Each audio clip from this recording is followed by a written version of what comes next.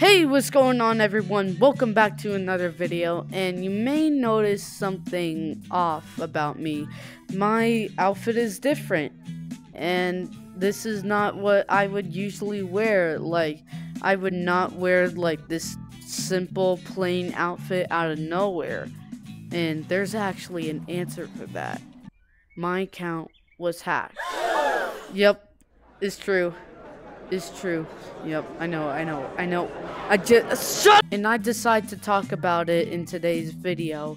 But first be sure to hit that big fat juicy subscribe button and also hit the little bell and turn all notifications on so then you will never miss another upload. And also hit that like bell. It really supports this video and it gets a lot of recognition.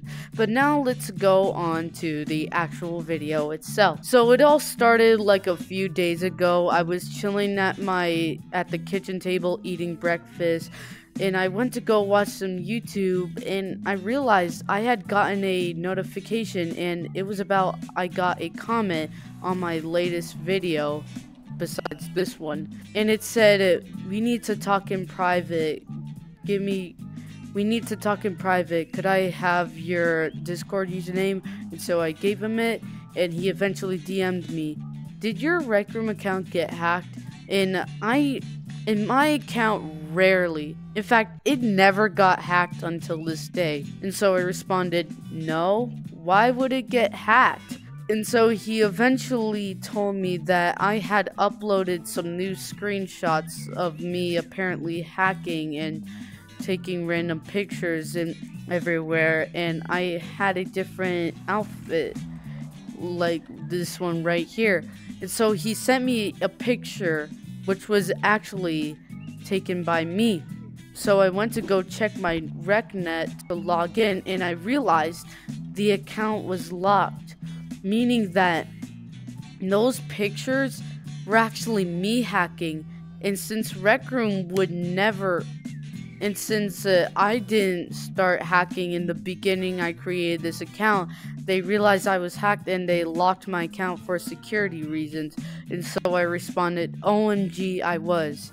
And and so I made a ticket and uh, I contacted Rec Room support. And this was, if it wasn't for this uh, fan, yes, it was a fan. And also, the fan that told me about this, his name is Gorilla shout out to him. And so, for his loyalty in telling me about this, I gave him the premium recording member in my Discord server. And he eventually thanked me, and I said, You're welcome.